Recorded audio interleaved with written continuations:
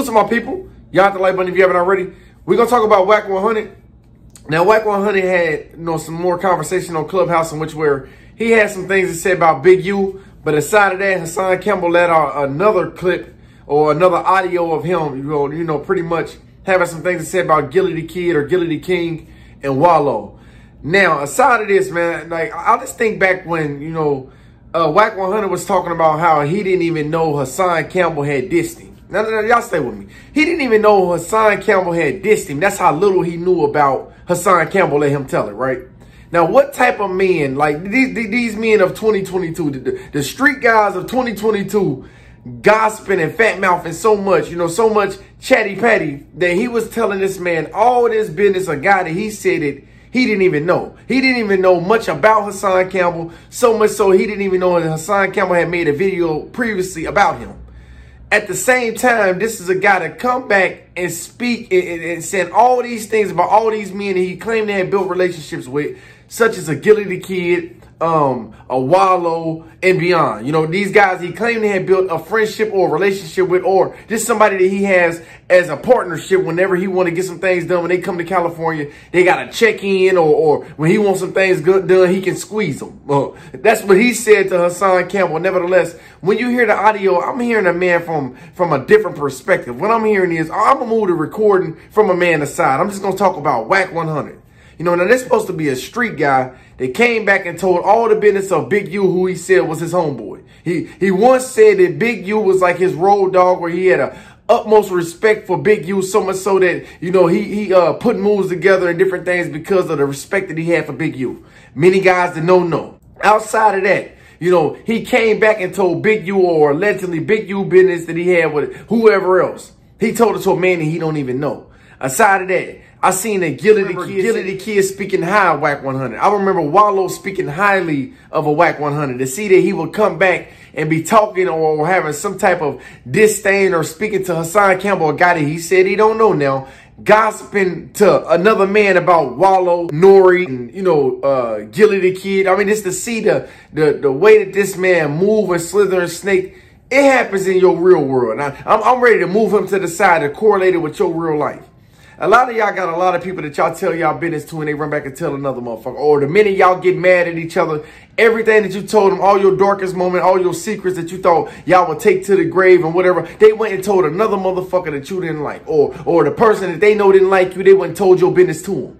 And I, I say this because when I look at somebody like Wack 100 to see how easy he was to be caught on camera or to be caught on audio saying all these things about all these other people, can you imagine the things that he's saying to other people that, that's not getting recorded? You know, a lot of these people, you know, you go and telling your business to, a lot of these dudes are seeing or acting as though they're your friend and smiling and acting like you got a partnership or you're getting money together, even in the streets and in the industry. You see a lot of these guys have ulterior motives. A lot of these guys really look at you as if they're going to squeeze you or they're going they're going to they're, going to extort you and many other things in order to get done what they want done. Now this is a Hassan Campbell. Like I said, once I say twice. This is somebody that he said that he didn't even know the man dissing. Now everybody on the internet know that Hassan Campbell been the guy talking about the rappers from Jim Jones to Six Nine to you know uh, Wack 100 and many others. You know very little about the man that you didn't even know he made videos about. You go gossiping to this man that you don't even know nothing about. As a street guy, as a dude that got, you know, a, a gang culture background, as a guy that did time in the system, guy that did time in jail and beyond. Like, when I sit and look at these dudes, man, to me, I feel as though, you know, a lot of these dudes that's coming up and calling a guy like Wack 100 OG.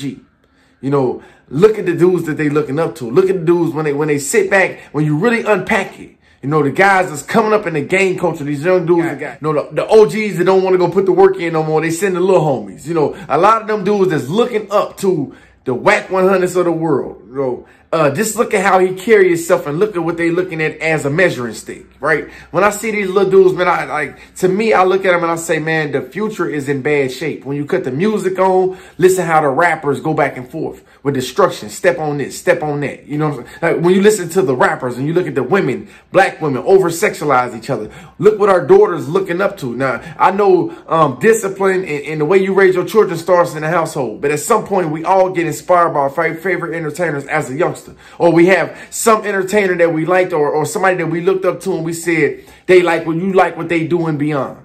Aside of that, you know, uh, when I look at the rappers, when I look at the entertainers, when I look at the guys that got labels and, and guys as management and beyond, Wack 100 is a manager of many other guys. And look how he talk about everybody business to a guy he don't even know. Aside of that, I'm to get into the clip in which where Hassan Campbell showed that, you know, Wack 100 had a lot to say about Gillie Da Kid and Wallo and also NORE. Um, he talked about how he gonna squeeze these guys, he can squeeze these guys because they got to come to California, basically in an extortion type of, you know, conversation.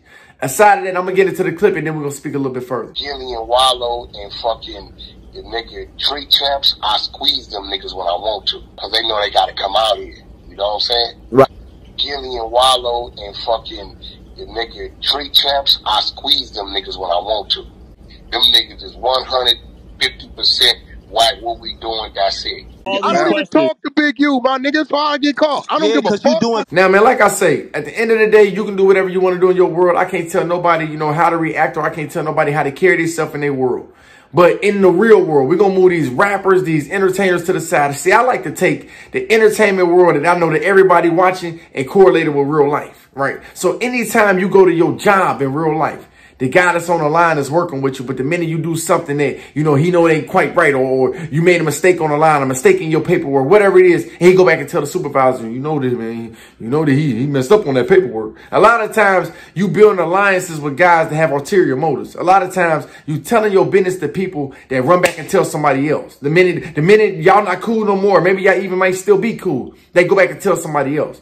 You know, they say, uh, betrayal comes in many forms, you know, backstabbing, you know, many, many things that you see in our community that get many guys' life took. You see it on a day-to-day basis from male and female. And I just correlated back to the working system. You know, a lot of times, a lot of people done lost their job because a person they thought was their friend went and told the supervisor something on them and it made them lose their employment. So, so much so they couldn't even provide for their family and many other things where you see that even in family, they say family do you the worst. You go telling the family your business or go telling, go telling your friend about your relationship. And then when y'all no longer together, you and dude messing with your woman or, or she, she hitting on the man that you once was with. No, I mean, it, it's many different measuring sticks that you see betrayal. Betrayal comes in many forms. So when I sit back and I hear Wack 100 talk so down about Big U now, because whatever he did with, you know, Jim Jones beyond. I ain't getting into that. Maybe they got some whole other street politics. In no regard, even if you're not cool with a Big U no more, should you go be talking about his business to another man? Or, or if you if you feel as though Wallo and Gillie Da Kid or Gillie Da King ain't your homeboys, you know, that you would go be talking about, you know, how you can squeeze them or, or whatever it is. I, I don't know if you're saying you can get the job done or extortion. Either way, I just, from the sound of it, from what, what the YouTube streets is reacting to, it don't sound like somebody that was really a friend to nobody. It seems like a lot of these guys is in it for self. It sounds like a lot of these dudes really have no loyalty to nothing but the green piece of paper that's meant to divide us in so many ways. Look how many people get their life took all for the love of money. Look how many people, you know, betray each other. How many best friends are no longer best friends. How many best friends that killed each other for the love of money. They say for the love of money is the root of all evil. And so many times or too many times you see when somebody uh, closing some deals or when people, you know, politic and trying to get to the bag, you know, get to the bag is a destruction in many forms, especially in our community, because we kick each other in order to get there. We backstab each other in order to get there, betray each other in order to get there. I ain't gonna harp too hard on it or harp too long about it. I just, I know when I hear that audio and it seems like it's getting deeper and deeper, it seemed like, you know, uh, Wack 100, I can only imagine the things that's not getting recorded. One thing that I can say and I will say about, you know, Hassan Campbell, one thing he said that was real and was true. He said to the young guys, you know, uh, uh, you know, watch how you chatty patty or loose lip, or I'm just paraphrasing whatever he said. You know, watch who you talking to because you don't even, you know, you don't even know a lot of these guys, and you're telling your business to them, and you telling all these other things. Paraphrasing, but basically what he's saying about what Wack 100 done, you don't even know that man. You said that you didn't even know Hassan Campbell enough, so much so you didn't even know that he had been making diss videos about you, and he sat back and recorded you and he made the ultimate checkmate, whether you agree with the recording or not. Because me, I look at it like if these street guys, I don't even agree with the phone recording conversation, but maybe he was playing from a different angle to expose what these guys truly are. Ain't my business. I don't know. But at the end of the day, what I do know is Wack 100 told a lot of business and said a lot of things to a guy he don't even know as a street guy from the gang culture that did time to me. That's a, no, that's that's an embarrassment in so many ways. But at the end of the day, who am I? Each one teach one. As long as we have each other, we continue to grow together.